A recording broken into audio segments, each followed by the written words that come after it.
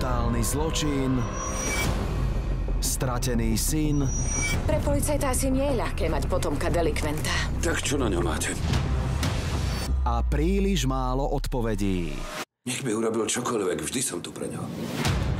Detektívny príbeh Toto nie je hra, nie je to váš prípad. Malá policajtka dostala prípad nad svoje sily a je príliš hrdá, aby si to priznala. Vraždy v Baskicku v premiére v stredu o 22.25 na jednotke.